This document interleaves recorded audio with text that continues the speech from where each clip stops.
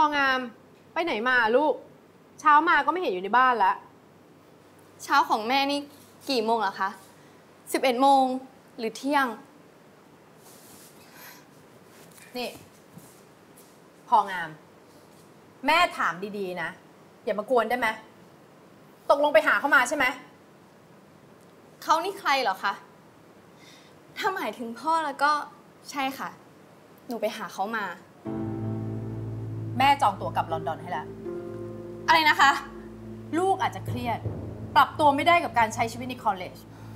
ลูกอยากมาเที่ยวอยากพักผ่อนแม่ไม่ว่านะ แต่ลูกต้องกลับไปเรียน พอได้แล้วแม่ ชีวิตนี้ แม่จะคิดเองเออเองกี่เรื่องก็ได้นะ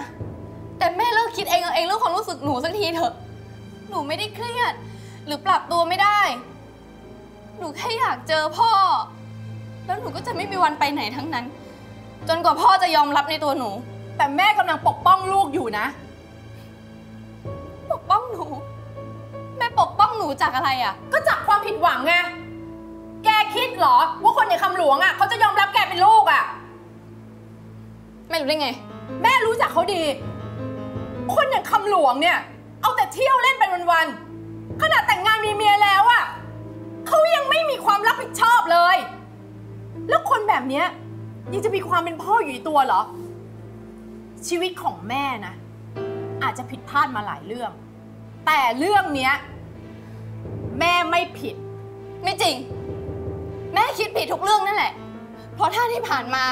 แม่คิดถูกสักเรื่อง ชีวิตแม่ก็คงจะดีกว่านี้ แล้วชีวิตแม่ไม่ดีตรงไหน ถ้าพูดแล้วไม่บาป